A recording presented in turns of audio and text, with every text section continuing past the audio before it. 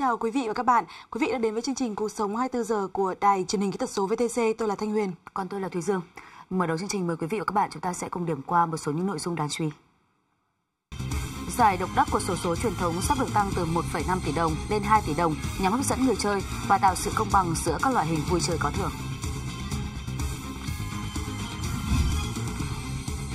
Một quán cà phê dành riêng cho người độc thân sẽ như thế nào? Hãy cùng trải nghiệm tại Erland Cà phê.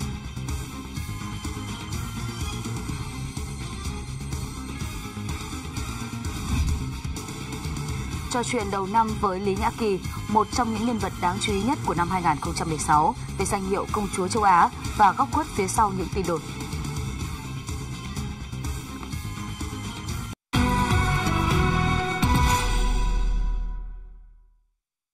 Liên quan đến tình trạng nhiều con em của các công nhân bị bạo hành tại các điểm trông trẻ, Mới đây, Liên đoàn Lao động tỉnh Bình Dương đã hỗ trợ 17 trường mầm non tư thục trên địa bàn gắn camera giám sát. Theo đó, phụ huynh có thể sử dụng điện thoại di động hoặc máy tính truy cập vào hệ thống và từ đó quan sát được hình ảnh của con mình. Không chỉ giúp cha mẹ của trẻ yên tâm hơn, với người làm công tác quản lý cũng dễ dàng giám sát được các hoạt động của các trường từ nấu ăn, chỗ vui chơi, phát hiện các tình huống liên quan đến giáo dục hoặc an ninh để xử lý ngay.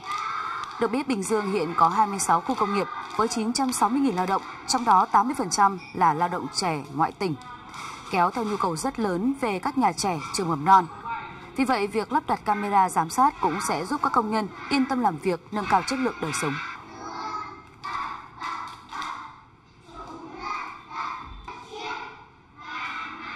Hiệp hội Bất động sản Thành phố Hồ Chí Minh vừa có công văn báo cáo tình hình thị trường bất động sản năm 2016, trong đó đặc biệt kiến nghị cơ quan quản lý xem xét việc cho doanh nghiệp quy mô từ 1 đến 3 người mở văn phòng tại căn hộ chung cư. Cụ thể là Hiệp hội đề nghị sửa đổi khoản 11 điều 6 luật nhà ở theo hướng cho phép đăng ký kinh doanh doanh nghiệp siêu nhỏ có số lao động không quá 3 người được hoạt động tại căn hộ chung cư để khuyến khích phong trào khởi nghiệp của giới trẻ. Đối với những chung cư cũ, thấp tầng, tách bạch lối đi riêng, đã có tập quán kinh doanh lâu đời thì cần đưa vào quy hoạch khu vực kinh doanh theo loại hình căn hộ dịch vụ trong chung cư có mục đích sử dụng hỗn hợp để được tồn tại, phát triển. Ngoài ra, đối với những chung cư xây dựng sau khi luật nhà ở đã có hiệu lực, Hiệp hội đề nghị Sở Kế hoạch Đầu tư và Ủy ban nhân dân thành phố Hồ Chí Minh quy định thời hạn để chuyển hoạt động kinh doanh ra khỏi căn hộ chung cư trong thời hạn không thấp hơn một năm để giảm thiểu thiệt hại cho các hộ gia đình và doanh nghiệp.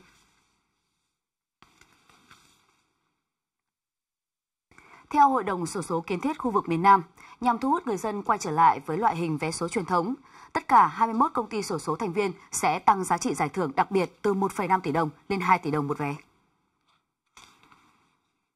Riêng số tiền trúng giải nhất dành cho những vé chỉ sai một chữ số ở hàng trăm ngàn so với giải độc đắc giảm từ 100 triệu đồng xuống còn 50 triệu đồng một giải. Giải nhì giảm từ 20 triệu đồng xuống 15 triệu đồng một giải. Theo Hội đồng Sổ số Kiến thiết khu vực miền Nam, việc tăng giá trị giải đặc biệt nhằm hấp dẫn người chơi và tạo sự công bằng giữa các loại hình vui chơi có thưởng. Đây chỉ là bước đầu, sau này có thể nâng lên 2,5 tỷ đồng cho giải đặc biệt. Được biết, việc tăng giá trị của giải đặc biệt được 21 công ty sổ số kiến thiết đưa ra tại Hội nghị sổ số kiến thiết khu vực miền Nam lần thứ 108, tổ chức vào cuối tháng 10 năm 2016 tại thành phố Cần Thơ. Sau đó, Bộ Tài chính đã đồng ý với đề xuất điều chỉnh cơ cấu giải thưởng mà Hội đồng sổ số kiến thiết khu vực miền Nam đưa ra. Bạn là người cô đơn, chưa có người yêu, bạn đắn đo nghĩ xem là dịp cuối tuần này nên ở nhà ngủ nướng hay đi chơi một mình. Nếu bạn đang đau đầu về những câu hỏi trên thì hãy thử tìm đến quán cà phê độc đáo dành riêng cho những người độc thân ở Hà Nội. Gấu, gấu và gấu Gấu ở khắp nơi Nếu muốn tìm gấu, ôm gấu thì có lẽ đây là địa điểm khá lý tưởng cho bạn. Một không gian riêng tư. Kết bạn với những người bạn xa lạ. Quán này mình thấy rất là đặc biệt tại vì quán này là dành cho những người độc thân. Và có bạn nào đang độc thân thì đến quán này có thể kết bạn giao lưu biết đâu lại tìm được nửa kia của mình à? ừ, thiết kế đặc biệt. Mà nghe tên quán thì lên đây thấy cũng khá là riêng tư ấy chứ ngồi các cái khu như này thoải mái Tại đây, những vị khách đang ngồi một mình cô đơn ở khu vực Lonely Zone sẽ được nhân viên hỏi rằng có muốn được ghép đôi tìm bạn hay không. Và nếu khách đồng ý, sẽ được dẫn đến khu vực Friendly Zone để gặp và trò chuyện với một người hoàn toàn xa lạ. Em ra Hà Lan. À, em ở đâu? Ở gần đây thôi. Ừ, nhà anh cũng gần đây. Anh đi có 2 phút để đi xe thôi. Ờ, Gần đây. anh hay ra quán này uống nước không? Anh thỉnh thoảng bởi vì do công việc của anh nó không có nhiều thời gian nên là thỉnh thoảng anh cũng qua đây làm vừa, vừa uống nước thôi. Không có nhiều thời gian. Đây là đến quán này rồi này. Điểm thú vị sẽ có một bức màn bí mật ở giữa để tránh nhìn thấy mặt nhau. Nếu trò chuyện vui vẻ và cảm thấy hợp ý, bạn có thể chủ động kéo màn lên.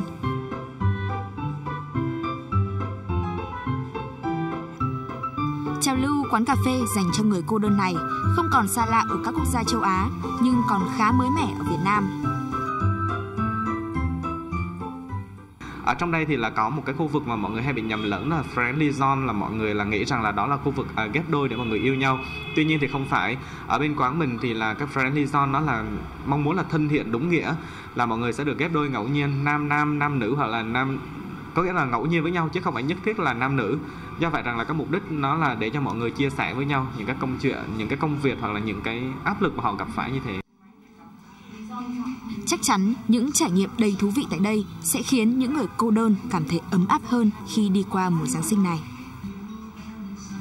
Alone Coffee là mô hình quán cà phê dành riêng cho người độc thân và ngẫu hứng kết bạn lần đầu tiên xuất hiện tại Việt Nam. Chắc chắn những trải nghiệm đầy thú vị tại đây sẽ khiến những người cô đơn cảm thấy ấm áp hơn khi đi qua mùa Giáng sinh này. Thưa quý vị, chúng ta có thể làm được một cây bonsai thật đẹp và đầy tính nghệ thuật từ dây đồng hay không? Nhiều người có lẽ sẽ hoài nghi điều này bởi có lẽ để tạo nên một cây bonsai thật thì đã khó rồi. Thổi hồn cho một chậu cây được làm từ những sợi dây đồng còn khó hơn gấp nhiều lần. Thế nhưng có một người đã thành công trong việc tạo ra những cây bonsai bằng dây đồng đầy tính nghệ thuật. Mời quý vị và các bạn cùng gặp gỡ với anh qua phóng sự ngay sau đây. Đây là nơi làm việc cũng như trưng bày các sản phẩm bonsai bằng dây đồng, còn được gọi là bonsai handmade của anh Lê Duy Đức. Bonsai handmade là một thú chơi tào nhã mang đầy tính nghệ thuật, đòi hỏi ở người chơi sự đam mê, kiên trì, nhẫn nại và tỉ mỉ. với ai đó đã hiểu về bonsai thì thì khi thực hiện à, khi khi làm về bonsai handmade này thì cũng không không đến nỗi phức tạp quá thế nhưng đối với những người mà mới lần đầu mới tiếp xúc mới mới học thì tương đối là khó bởi vì um, họ cần phải có một cái sự uh, hình dung và một cái sự uh, liên tưởng về về bonsai nó chuẩn mực. Giả sử như muốn làm một cây như thế nào thì cần phải hình dung được cái dáng thế thì thì mới có thể là, là lên được cái ý tưởng để mà làm. Khi mà ý tưởng không lên được thì sẽ không thực hiện được. Tức là khó nhất ở giai đoạn là lên ý tưởng. Và cái điều cần thiết nhất đó là kinh nghiệm à, hiểu biết về bonsai. Để tạo nên một cây bonsai bằng đồng, đầu tiên là chọn dây nhôm cứng hoặc dây đồng mạ tĩnh điện để làm khung. Tuyệt đối không nên dùng dây thép vì nó quá cứng, không thể tạo nên sự mềm dẻo. Khi hoàn thành xong phần thân cây thì tiếp tục phối hợp với các loại đá phong thủy, các loại vật phẩm trang trí để tạo ra một cây bonsai hoàn chỉnh. cái tác phẩm nhỏ thì có khi chỉ mất tầm khoảng độ hai ba tiếng cũng có thể hoàn thành mà có khi cũng phải một hai ngày không cố định được mà đấy hoàn toàn là phải phụ thuộc vào cái độ khó của tác phẩm Tiết lộ thêm về thú chơi này, anh Đức cho biết, điều cần nhất là niềm đam mê. Khi đam mê đủ lớn, bạn sẽ có đủ sự kiên trì để có thể ngồi lì một chỗ chỉ để tận tay chỉnh sửa từng chi tiết nhỏ. Ngày hôm qua mùng 1 tháng 1 năm 2017 cũng là ngày đầu tiên của năm mới. Tại Nhà văn hóa học sinh sinh viên Hà Nội diễn ra chương trình hết sức ý nghĩa Xuân yêu thương, dành tặng 1.000 phần quà đến trẻ em khuyết tật trên toàn thành phố. Chương trình thiện nguyện với nhiều tiết mục đặc sắc đến từ nhà hát tuổi trẻ, liên đoàn siếc cùng với các câu lạc bộ khác đã đem đến cho các em nhỏ một ngày đầu năm mới ấm áp và tràn đầy tình yêu thương. Xuân yêu thương là chương trình thiện nguyện thường niên không mang tính chất thương mại hay kinh doanh. Chương trình được thực hiện với ý tưởng Trẻ em hôm nay, trái đất này là của chúng mình nhằm chia sẻ với các em nhỏ khó khăn trên địa bàn Hà Nội được đón một mùa xuân ấm áp và an lành. Năm nay, 1.000 xuất quà sẽ được ban tổ chức trao tận tay tới 1.000 cháu nhỏ khuyết tật có hoàn cảnh khó khăn, lang thang cơ nhỡ trên địa bàn Hà Nội. Chúng tôi chọn Hà Nội bởi vì rằng là rất nhiều các đơn vị làm từ thiện ở khắp mọi nơi. Nhưng thực ra tại Hà Nội thì có rất nhiều các cái trung tâm, nhiều hoàn cảnh khó khăn mà mọi người cứ nghĩ rằng là Hà Nội thì chắc là không phải như thế. Nhưng khi mà chúng tôi đến tận nơi ờ, gặp những hoàn cảnh đấy thì bản thân chúng tôi rất là xúc động. Tôi hy vọng rằng là Xuân yêu thương không chỉ trong một mùa xuân đâu, không chỉ trong ngày hôm nay đâu, mà sẽ thực sự là một cái bước thông điệp trong cả một năm đối với tất cả những người uh, máu đỏ da vàng khắp mọi nơi. Đến với chương trình Xuân yêu thương, ngoài việc nhận được những phần quà có giá trị vật chất, các em nhỏ còn có cơ hội thưởng thức những tiết mục văn nghệ, nghệ thuật đặc sắc của nhà hát tuổi trẻ, liên đoàn siếc, câu lạc bộ Anstorm và các nhí tài năng. Em ước bố mẹ và ông bà có nhiều sức khỏe hơn ạ. Và em cũng học giỏi hơn. Em mong muốn các bạn khuyết tật sẽ có một mùa xuân ấm áp và vui vẻ ạ. Chúc các bạn ở đồng bằng ở, ở đồng bằng Trung Bộ mạnh mạnh khỏe vượt qua những khó khăn ạ. Những món quà nhỏ nhưng ấm áp nghĩa tình mà các nhà hảo tâm và ban tổ chức Xuân yêu thương nêm nến chắc chắn sẽ mang lại những phút giây thoải mái, thú vị cho những mảnh ghép kém may mắn. Phần nào thắp sáng được ước mơ và sưởi ấm trái tim của các em trong những ngày đầu năm. Lào Cai là địa phương nổi tiếng với những phiên chợ vùng cao, nơi thể hiện rõ nhất bản sắc văn hóa đời sống của bà con vùng đồng bào dân tộc. Và trong những ngày đầu năm này thì mời quý vị và các bạn cùng với phóng viên của chương trình Cuộc sống 24 giờ dạo quanh phiên chợ vùng cao Tả Phời Hợp Thành của tỉnh Lào Cai cùng với những vị khách mời rất đặc biệt. Xin chào Đông Quân, xin chào Lưu Hạnh. Đã sẵn sàng cho chuyến này đi chưa hả Sẵn sàng chị. Ờ, thế còn Đông Quân sao nhỉ? Are you ready? Yes, I'm ready. Yeah. Yep. Huh? Yeah. yeah. À, quý vị và các bạn thân mến, ngày hôm nay thì chúng ta sẽ bắt đầu phiên chợ này với hai bạn trẻ này nhé. Tôi tin là sẽ có rất là nhiều điều thú vị trong ngày hôm nay đấy.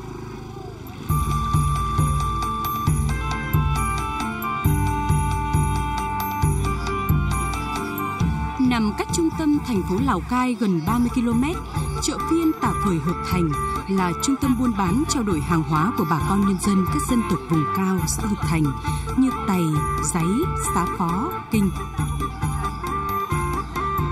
Chợ này chủ yếu tập trung các mặt hàng nông sản của bà con vùng đồng bào dân tộc tự canh tác sản xuất như gạo nếp, khoai, sắn hay mua bán trao đổi thực phẩm từ các loại gia súc gia cầm như heo, bò, gà, dê. Đến phiên chợ, mọi người có thể dễ dàng bắt gặp những món ăn của đồng bào dân tộc thiểu số như cơm lam, cọ hay những cây thuốc quý được lấy về từ trên núi. Không quá ồn ào náo nhiệt, nhưng chợ phiên Tả Phời Hợp Thành là nơi thể hiện bản sắc văn hóa trong đời sống hàng ngày của bà con dân tộc nơi dẻo cao.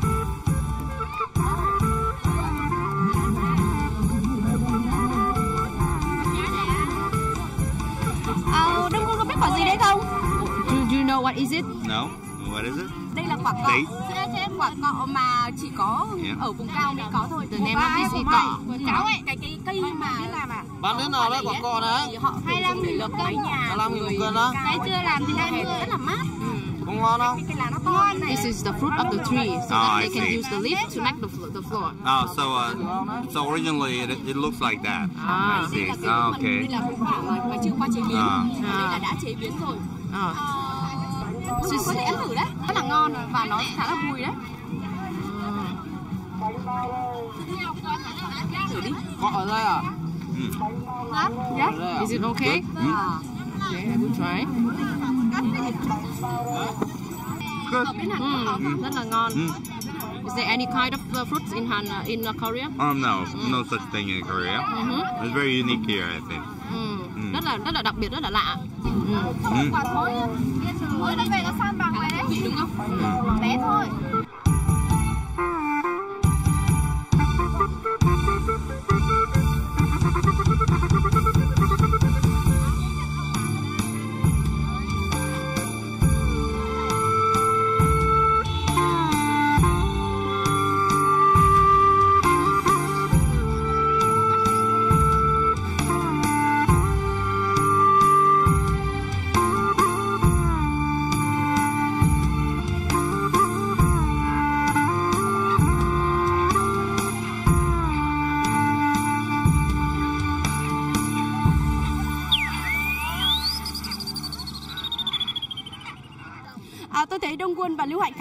Đến một quầy hàng này và ở đó thì đang bán món bánh giò và cơm lam.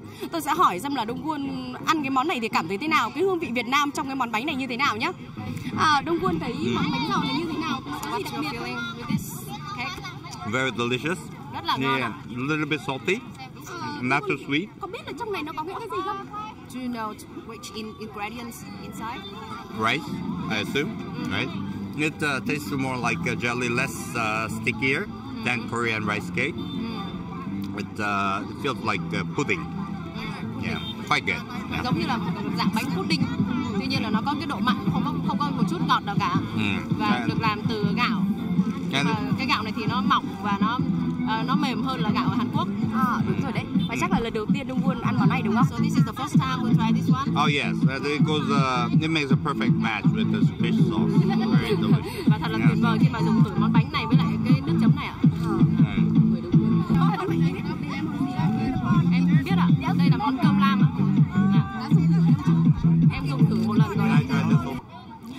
mỗi một ống cơm lam như thế này thì được làm bằng gạo ờ, nếp nương, được trồng ở trên những ờ, cái sườn đồi à, mà như quý vị và các bạn cũng đã thấy những cái khu ruộng bậc thang á, đó chính là nơi mà trồng những cái ờ, loại gạo nếp như thế này. Và khi mà cho vào ống như thế này thì cần một khoảng thời gian là khoảng một tiếng thì chúng ta sẽ có một ống cơm lam rất là ngon, thậm chí có thể mang đi xa, đi đường để có thể ăn.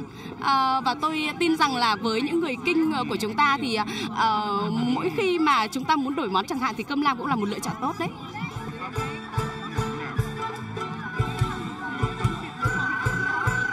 Đồng quân bạn trẻ người Hàn Quốc tỏ ra khá thích thú với những món ăn được bày bán tại phiên chợ, đặc biệt là món cơm lam. Theo Đồng quân, cơm lam ở chợ phiên khác hẳn với cơm lam Hàn Quốc, có vị bùi, thơm của gạo nếp trồng trên nương rẫy và màu xanh thơm mát của ống tre non. Đây cũng là lần đầu tiên Đồng quân được tới chợ phiên và thưởng thức món ăn đặc biệt này.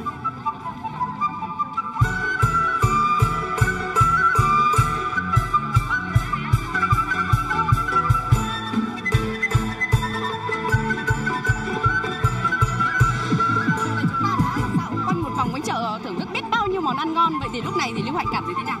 Thật sự là người Việt Nam nhưng mà lần đầu tiên em được trải nghiệm ờ, một cái chợ vùng cao như thế này với rất là nhiều những cái món đặc trưng mà từ trước đến nay em chưa bao giờ được nhìn thấy và được trải nghiệm rất là nhiều những món ăn như là cơm lam như là bánh tẻ và thực sự là một cảm giác rất là vui và thú vị. Ờ, dạ, đúng là thú vị thật mình cũng đã thưởng thức này cũng đã được xem rất là nhiều thứ của bên chợ vùng cao này rồi.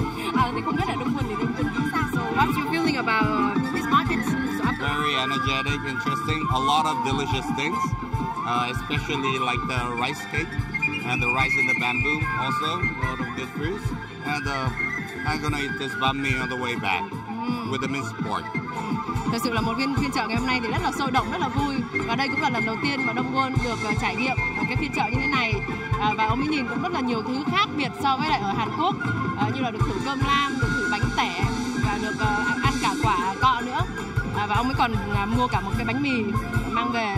Nếu như à, Đông Quân cảm thấy thú vị với những phiên chợ như thế này thì à, ờ, Đông Quân sẽ có rất là nhiều dịp có thể trải nghiệm cùng với phóng viên của cuộc sống 24 giờ và chắc chắn là chúng ta sẽ đi được tới thêm nhiều điểm hấp dẫn hơn nữa. Và bây giờ thì có lẽ là chúng ta sẽ phải chào tạm biệt khán giả và chúc cho khán giả có một năm mới thật là an khang hạnh phúc và chúng ta sẽ tiếp tục có những cuộc trải nghiệm thú vị hơn nữa đúng không? Mm, so we say uh, goodbye to the audience and say Happy New Year. Okay. Okay. Goodbye. Happy New Year. Happy Chúc mừng năm mới. Chúc mừng năm mới.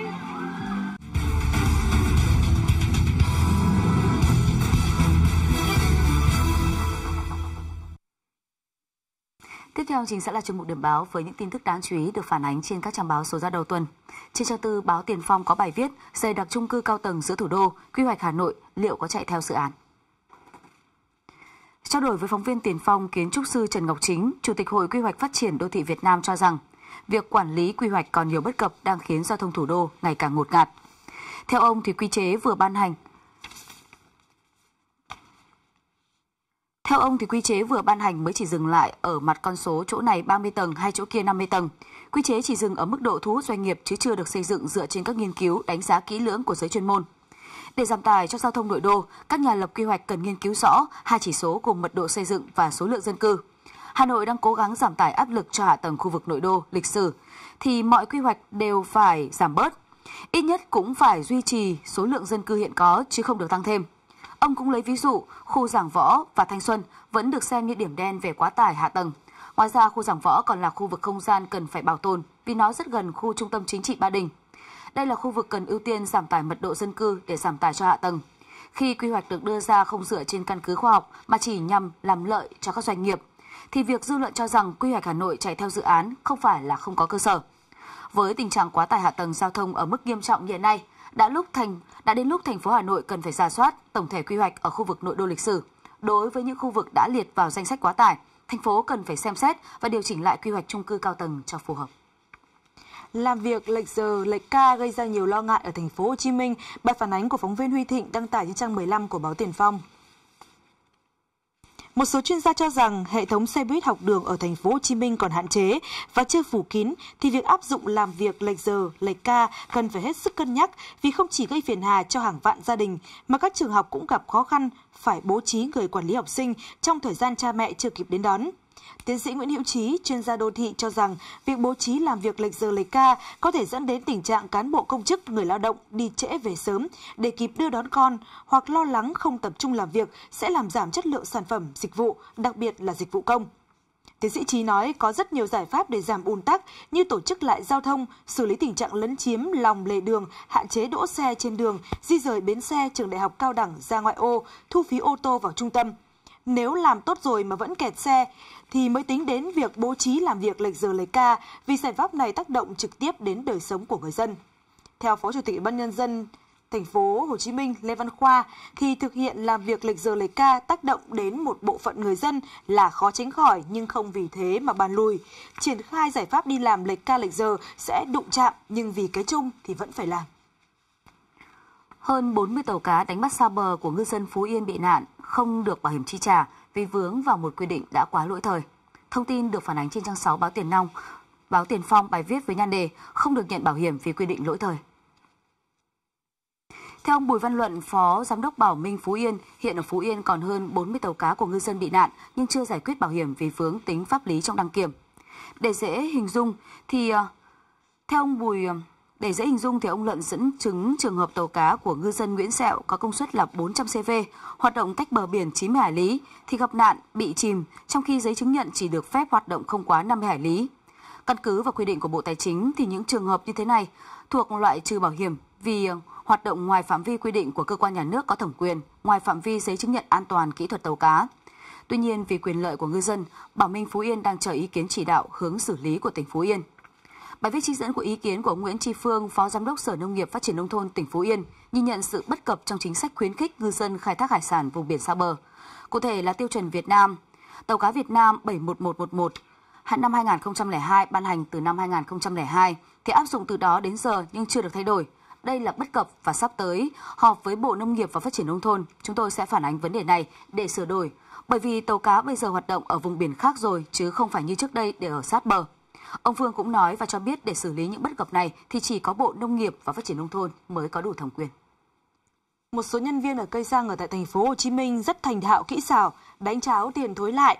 Khách đổ xăng tận mắt thấy được thối đủ tiền, nhưng khi về nhà đếm lại mới biết là thiếu, có khi lên đến cả trăm ngàn đồng. Là tẩy trò cháo tiền ở cây xăng, bài phóng sự điều tra của nhà phóng viên báo Tuổi Trẻ.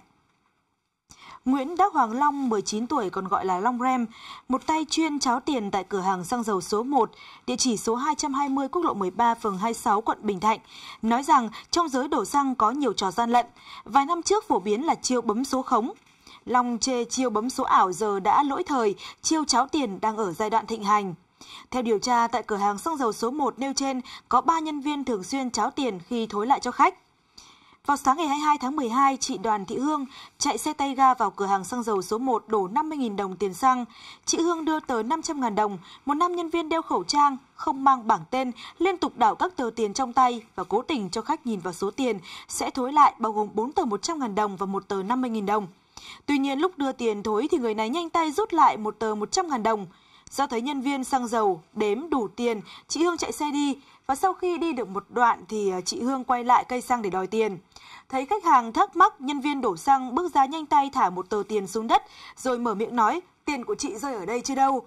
Từ góc quay bên ngoài, phóng viên thấy nhân viên này thả tờ tiền 100.000 đồng xuống và tức khắc cúi xuống nhặt lên ngay. Trên trang 13 báo pháp luật Thành phố Hồ Chí Minh có bài viết theo chân heo bơm nước vào Thành phố Hồ Chí Minh. Vào dạng sáng ngày 31 tháng 12 năm 2016, phóng viên của Pháp luật Thành phố Hồ Chí Minh đã có mặt tại chợ đầu mối Bình Điền để tìm hiểu thực trạng heo bơm nước đưa vào chợ này. Khoảng 1 giờ 30 phút sáng, xe tải số 51C 184 chở 30 con heo đã giết mổ vào chợ để phân phối cho tiểu thương. Chủ lô heo nói trên là ông Trần Văn Hoàng ở Thành phố Hồ Chí Minh. Như thường lệ, cơ quan thú y thành phố thực hiện kiểm tra lô hàng trước khi tiêu thụ và đã phát hiện 4 con 320 kg có biểu hiện bơm nước như thịt nhạt màu, không có độ dẻo, ấn tay thấy thịt bùng nhùng, dì nhiều nước. Căn cứ giấy chứng nhận kiểm dịch thì 4 con heo nói trên có nguồn gốc từ cơ sở giết mổ Long Hiệp, Long An. Làm việc với cơ quan thú y, ông Hoàng thừa nhận 4 con heo đã bị bơm nước trước khi giết mổ. Ngoài bị phạt tiền, cơ quan thú y còn buộc ông Hoàng luộc 4 con heo bơm nước và chuyển mục đích sử dụng bằng cách dùng làm thức ăn gia súc. Ông Khương Trần Phúc Nguyên cho biết, Tri cục Thú y thành phố nhiều lần đã có công văn đề nghị Tri cục chăn nuôi và Thú y Long An tăng cường giám sát, kiểm tra và có những biện pháp xử lý dứt điểm các cơ sở giết mổ heo bị bơm nước. Tuy nhiên thì à, thực trạng trên vẫn có chiều hướng chưa cải thiện. Theo ông Nguyên, hiện nay một số đối tượng sử dụng hóa chất quét lên bề mặt thịt heo nhằm mục đích giúp cho thịt khô và không dỉ dịch. Tuy nhiên, dùng dao cắt thì nước trong thớ thịt cũng sẽ dỉ ra. Tri cục Thú y thành phố đang phân tích xem đây là hóa chất gì và độc hại ra sao. Tiếp theo chương trình trò chuyện đầu năm với Lý Nhã Kỳ, một trong những nhân vật đáng chú ý nhất của năm 2016 với danh hiệu công chúa châu Á và góc khuất phía sau những tin đồn.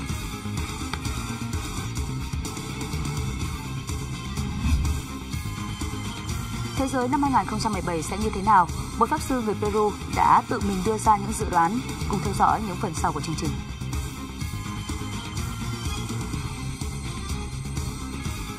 Thiên tài 11 tuổi gây ấn tượng mạnh trong buổi ra mắt vở opera Cinderella ở Áo.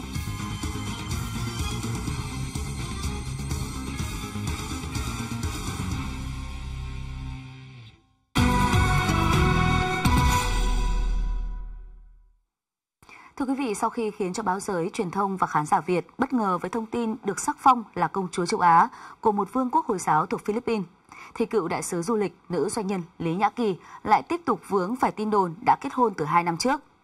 Và với một người đẹp nổi tiếng như Lý Nhã Kỳ thì thông tin này không khỏi một lần nữa khiến cho dư luận phải quan tâm. Thật ra thì đây không phải là lần đầu tiên người đẹp 34 tuổi Lý Nhã Kỳ vướng phải tin đồn từng kết hôn. Nhưng với lùm xùm lần này thì người đẹp đã có những chia sẻ chân thành về người đàn ông trẻ tuổi, không mạnh về tài chính nhưng rộng lượng, có chí lớn và đặc biệt là đã gắn bó bên cô suốt 7 năm nay nhằm giải tỏa cho tin đồn lần này. Và tất cả sẽ có trong phần trò chuyện ngay sau đây trong chương trình Câu chuyện buổi sáng. Hình ảnh Lý Nhã Kỳ mỗi lần xuất hiện luôn khiến người ta liên tưởng tới một công chúa bà Hoàng. Và nay, ước mơ đã thành sự thật khi Lý Nhã Kỳ vừa được sắc phong là công chúa châu Á. Xinh đẹp, khéo léo và tài giỏi, nhưng Lý Nhã Kỳ cũng là một trong những mỹ nhân kính tiếng trong chuyện tình cảm nhất showbiz Việt. Thế nhưng, tin đồn đã từng kết hôn vẫn không ngừng bổ về lấy cô. Duy chỉ có hình ảnh Lý Nhã Kỳ thân mật cùng người đàn ông lạ mặt, chụp đầu năm 2011 là được cô giữ im lặng không xác thực, cũng không chối bỏ. Nhiều ý kiến cho rằng đây chính là người đàn ông trẻ tuổi, không phải đại gia và là người đã luôn cưng chiều cô công chúa Lý Nhã Kỳ trong suốt 7 năm nay, dù cô có phần gỗ ngược.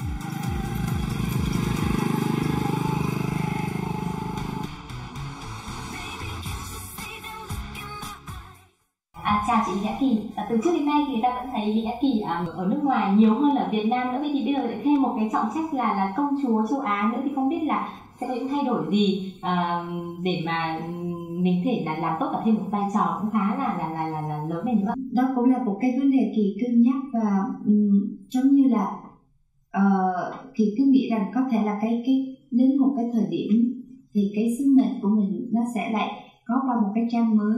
Cứ mỗi một giai đoạn thì kỳ thấy cái sứ mệnh của mình nó khác nhau. Và kỳ luôn cố gắng sống tốt và hoàn thành tốt những cái nhiệm vụ và sứ mệnh của mình. Vì vậy nên là kỳ phải bắt buộc hy sinh những các công việc những cái kế hoạch kinh doanh hoặc là những cái kế hoạch dành riêng cho bản thân. Sau khi kỳ trở thành công chúa xong thì kỳ cũng phải uh, đi khắp nơi uh, để mà thăm viếng những cái đất nước hồi giáo khác. Rồi như là một sứ giả để làm sao mang đến hòa bình. Và cái đó thì chắc chắn thì phải hy sinh rất nhiều cái cái cá nhân của mình. Khi sinh ra có thể là để phải làm nhiều hơn cho xã hội và cộng đồng hơn là cho bản thân. Có lẽ là như vậy. Rõ ràng chúng ta là phụ nữ và cái nhu cầu về hạnh phúc cá nhân tìm một hoàng tử cho riêng mình vẫn luôn luôn đau đáu ở một chỗ nào đó đúng không ạ? Thì với chị kỳ thì có hoàng tử cho riêng mình rồi. Nếu mà không ngại để chia sẻ với khán giả những người mà rất quan tâm đến đời sống riêng tư của chị hay không đương nhiên là kỳ đã có cái hoàng tử riêng mình. À, nhưng có lẽ là và chắc có lẽ anh hoàng tử này cũng là một cái anh hoàng tử rất đặc biệt. Vì ảnh có sức chịu đựng rất là cao có tính kiên nhẫn nữa. Bởi vì kỳ luôn luôn trốn. Trốn vì cứ xin gia hạn. Cứ mỗi lần tính tới cái sự ổn định thì lại có những nhiệm vụ khác. Từ cái thời làm đại sứ du lịch rồi khi mà những cái nhiệm vụ làm đại sứ du lịch thì kỳ lại xin thôi anh hoàng tử yêu giáo ơi anh cho em uh, gia hạn thêm một năm để phải làm sao tốt nhất cái hoàn thành nhiệm vụ. Thì sau khi hết làm đại sứ thì lại những cái kế hoạch kinh doanh và những cái kế hoạch từ thiện nó cứ nó cứ ập tới và thực sự có thể nói rằng là kỳ cũng không phải là một cô gái quá hoàn hảo. Có lẽ là lần này kỳ nhận công chúa thì kỳ lại nợ thêm một gọi là hoãn thêm thời gian. Có nhiều người nói rằng là tình yêu với những người thường đã khó rồi với người nổi tiếng mà lại còn làm công việc uh, nghệ thuật là phải nói là ờ, vất vả và khó khăn nhiều rào cản hơn nữa uh, vậy thì không biết là trong cái cuộc tình với anh hoàng tử này thì uh, thì có nhiều kỳ vọng không? Nhiều hy vọng không? Đặc biệt là khi anh hoàng tử này dường như là còn trẻ tuổi hơn mình nữa đúng không thực sự là đúng đúng rằng là uh, kỳ và anh ấy cũng quen nhau được 7 năm rồi anh ấy trẻ hơn kỳ chút xíu à. Không có trẻ nhiều đâu trẻ hơn chút xíu thôi.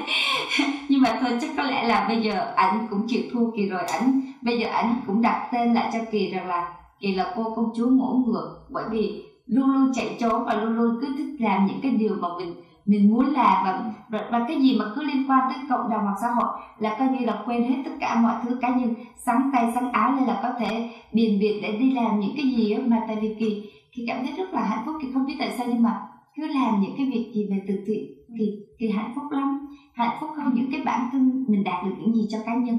Ví dụ như khi đạt được cái gì cho cá nhân thì cái cảm giác đó nó không phải là cái hạnh phúc mà từ từ trong cái cảm giác đó nó tuyệt vời. Cái chung là cứ hãy mà mình làm cái gì từ thiện mình cảm thấy rất tuyệt vời lắm. Phụ nữ bây giờ không nghĩ đến chịu kết hôn nhiều nữa. Với chị thì thì sao? Chúng ta có những cái điều những cái những cái đổ vỡ những cái điều mà đùng xùm những cặp đôi khác có có làm ảnh hưởng đến mình không? Người phụ nữ giống như một cái tấm gương thôi. Luôn luôn phản chiếu ngược lại những gì mà bên trong. Ờ, người phụ nữ luôn thể hiện cái gì đó chúng tôi rất là mạnh mẽ. Chúng tôi có thể tự lập. Và và nếu như mà có sóng gió thì tôi vẫn sẵn sàng để che chở cho ví như là nếu đã có có gia đình, có baby thì chúng ta sẽ che chở cho baby. Và nếu có sóng gió gì thì chúng tôi cũng có thể bảo vệ được cái trái tim của mình. Nhưng thực ra bên trong thì thì thì người phụ nữ luôn yếu đuối, luôn luôn luôn luôn thật sự rất là mềm thậm mềm mềm yếu và thậm chí luôn luôn cần cái sự gì đó nó nó là an toàn và chắc chắn. Vì vậy nên khi chứng kiến bất cứ người phụ nữ nào ngay cả kỳ hoặc là chị hoặc bất cứ người phụ nữ nào khi chứng kiến một cái gì đó nó đổ vỡ từ một ờ, một một cặp đôi khác thôi thì tự nhiên bản thân bên mình cũng đã cảm thấy sợ rồi. Đó là lý do tại sao bây giờ phụ nữ hay uh, chọn những những cái cái cách rằng là uh, mẹ độc thân hoặc là có con nhưng không cần lập gia đình. Đó không phải là là kỳ theo kỳ thôi nha theo kỳ kỳ kỳ không biết mọi người như thế nào nhưng theo kỳ thì đó không phải là được cho rằng là người phụ nữ này uh, đi theo tây phương hóa quá mà đánh mất đi cái truyền thống uh, của người châu á mình người việt. Kỳ nghĩ đó là bởi vì cái khi mà một người phụ nữ họ cảm thấy sợ và họ cảm thấy mất an toàn đặc biệt là ở trong một cái cái cái cuộc sống xã hội hiện giờ đang rất là hiện đại. Con người từ từ uh, quên dần đi những cái văn hóa ừ, văn hóa cái gì cũng bằng máy móc cái gì tôi cũng hiện đại và nó nó nó tấp nập nó làm cho ngay cả những cái tình yêu giống như mình à, mình nói là tình yêu giống như ông bà cha mẹ mình từ xưa nó hết rồi. Thì lúc đó người phụ nữ sẽ chọn phương án là thôi mình chỉ yêu một nửa. Thật ra không phải là người ta không yêu người đàn ông đó nhưng người ta muốn bảo vệ cái cái trái tim của mình hoặc bảo vệ cái gì đó mà người ta sợ rằng có thể bị tổn à, cảm ơn chị Lý Nhã Kỳ đã đến với chương trình ngày hôm nay một lần nữa xin chân thành cảm ơn đài truyền hình VTC